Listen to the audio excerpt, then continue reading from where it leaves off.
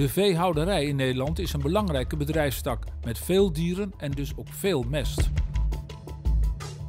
Vooral varkens, kippen en kalvenhouders hebben onvoldoende eigen grond en moeten de mest naar akkerbouwers in andere delen van het land brengen. Het gaat om een transportstroom van 750.000 vrachtwagens met mest per jaar. Die mest bestaat uit 90% water en 10% organische stoffen en mineralen. Innovatienetwerk ontwikkelde een nieuw concept waarbij de mest op het eigen bedrijf benut wordt voor de productie van energie en kroos en algen als veevoer. Zo ontstond Ecoferm. De rol van innovatienetwerk is geweest het concept eh, ontwikkelen. Daar zijn we vijf jaar geleden mee begonnen.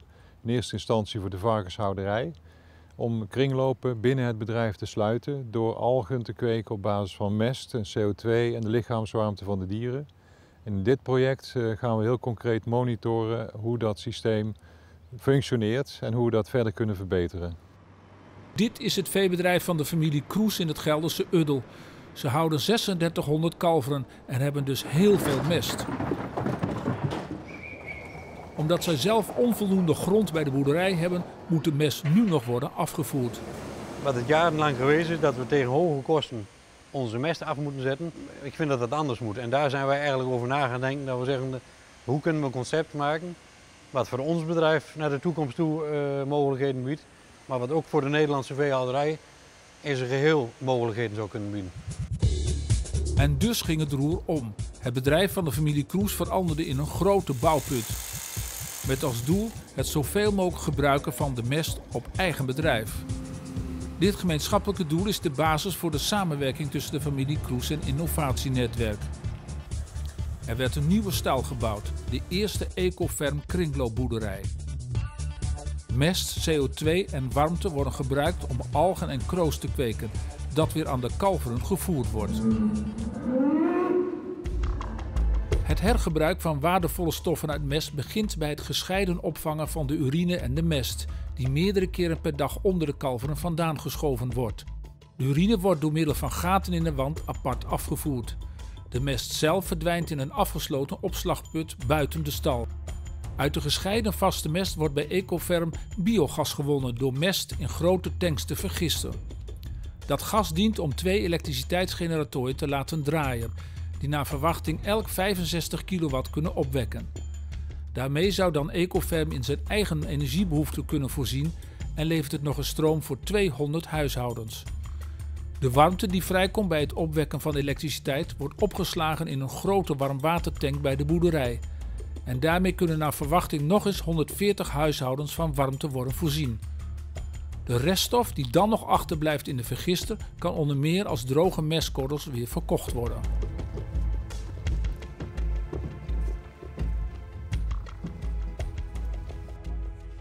Nou, hier zijn we dus de vergistingsinstallatie aan het bouwen, waar de mest die uit de stal komt zo vers mogelijk naartoe gaat. In die vergistingsinstallatie wordt het methaangas eruit gehaald. Het methaangas gaat via de zwarte leiding gaat naar de opslag toe en uh, wordt daar uh, opgeslagen en gemengd. En na verloop van tijd uh, komt hij via een andere buis weer terug en wordt in de, turbine, in de turbinemotor omgezet in groene elektriciteit.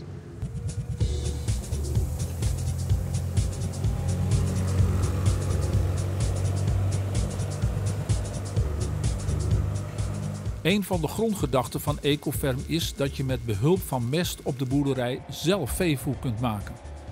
De familie Kroes heeft hiervoor een kas laten bouwen op de zolder boven de 1600 kalveren. Daar is op een dikke betonnen vloer een waterdichte bak gebouwd. Dit bassin wordt gevuld met water vermengd met mest voor de teelt van eendenkroos. Kijk, we hebben zonlicht nodig. Uh, we hebben warmte nodig om het jaar rond hier te kunnen produceren. We willen eigenlijk het, het jaar rond eendenkroosproductie hebben om het vest te kunnen voeren aan de dieren. In een groot bassin en kas op de stal wordt water gepompt vermengd met urine en dunne mest. Daarin wordt eendenkroos gekweekt. De kas wordt verwarmd door de zon en de lichaamswarmte van de kalveren, waardoor het kroos beter groeit. Ook wordt CO2 uit de stallucht toegevoegd die de krooskweek nog verder versnelt. Men verwacht jaarlijks 100.000 kilo eendenkroos te kunnen kweken. Het eendekroos wordt uit het water geschept en met de voederwagen aan de kalveren gevoerd.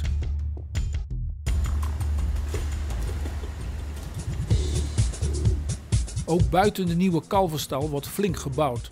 Er worden zeven vijvers aangelegd waarin ook eendenkroos gekweekt gaat worden.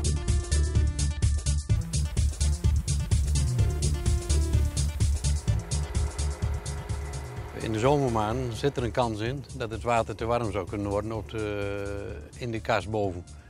Dan kunnen wij met het water wat in de buitenbazin zit, het binnenbazin op temperatuur houden. En dat uh, werkt dan omgekeerd ook zo. Dus we kunnen eventueel met de restwarmte die we over hebben, zouden we het buitenbazin dan ook sneller op gang kunnen krijgen. Hoe gaat het met het kroos tot nog toe? De eerste keer is het mislukt. Uh, de oorzaak weten we nog niet.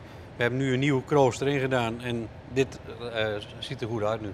Ja. Dus we hopen dat het nu uh, lukt. Onder gunstige omstandigheden kan kroos zich verdubbelen per 24 uur.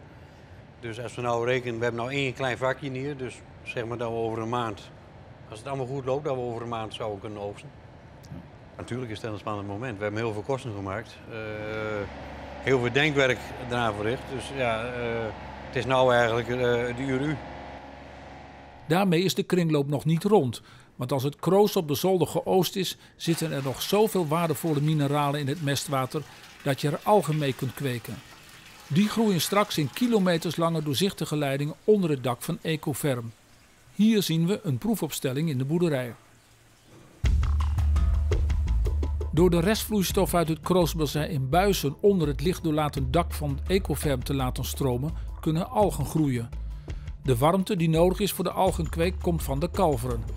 In totaal wordt er 5 kilometer aan algenbuizen in Ecoferm gemonteerd.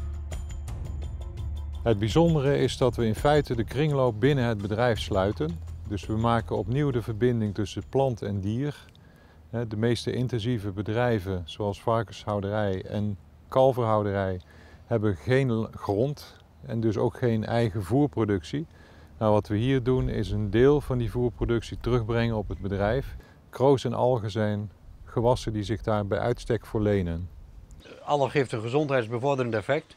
Wij hopen op die manier ook het nu al lage antibiotica gebruik wat we hebben nog verder terug te kunnen brengen. Uit de 5 kilometer lange buizen verwacht men jaarlijks 15.000 kilo aan algen te kunnen produceren. De algen worden met het water als hoogwaardig voer weer aan de kalveren gegeven. Daarmee hoopt Ecoferm aankoop van jaarlijks 9000 kilo sojaschroot uit Zuid-Amerika te kunnen besparen. Wij denken dat wij een gedeelte van onze sojabehoeften op deze manier eh, in kunnen vullen. Kijk, als wij de stoffen die we hier scheiden en die we omzetten in een, in een nieuwe grondstof, uh, die hoeven we aan de voorkant niet te kopen. Als we aan de achterkant kunnen voorkomen dat we het niet af hoeven te voeren, voorkomen we aan de voorkant heel veel inkoop van dure producten.